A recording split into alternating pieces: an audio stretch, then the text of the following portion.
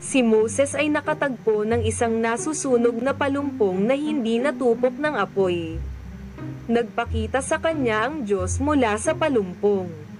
Inihayag ang kanyang pangalan bilang Yahweh at inutusan si Moises na bumalik sa Ehipto at palayain ang mga Israelita mula sa pagkaalipin. Si Moses sa una ay nag-aalinlangan sa takot sa reaksyon ni Pharaoh. Gayunpaman, tinitiyak siya ng Diyos na nangangakong makakasama niya at binibigyang kapangyarihan siya upang makagawa ng mga himala.